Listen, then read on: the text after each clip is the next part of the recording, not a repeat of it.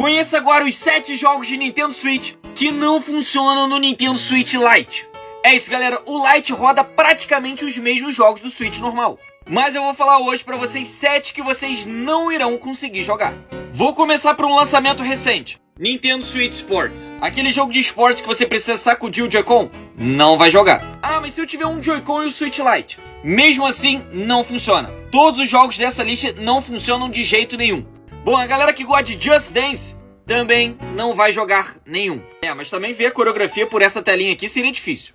Terceiro, Nintendo Labo. Aquele VR da Nintendo também não funciona. Quarto, 1, 2 Switch. É um joguinho só pra ver como é que o Joy-Con é maneiro, mas não vai poder jogar.